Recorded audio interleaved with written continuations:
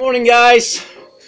Ah, one powerful energy technique that is uh, aimed at opening the lower chakras. You know, lots of you are like, you know, I want my sex life to be more enhanced and a lot of that has to do with uh, basically training your sexual energy.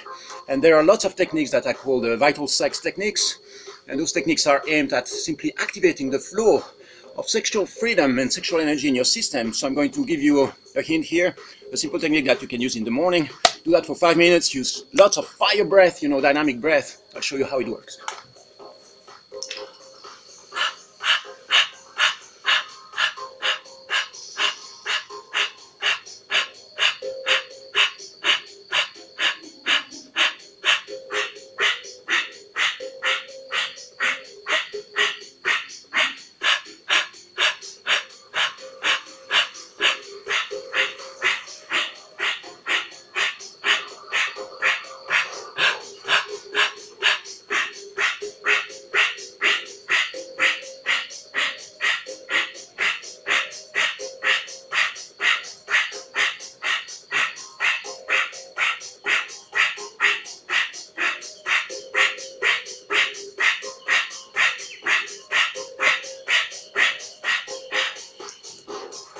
You see that what I'm doing with this technique?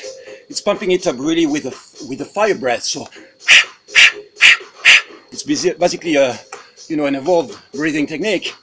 Do that for five minutes every morning and you will see all your energy flow and your, you know, the power in your lower chakras just being fully activated. Hope you enjoy. See you soon.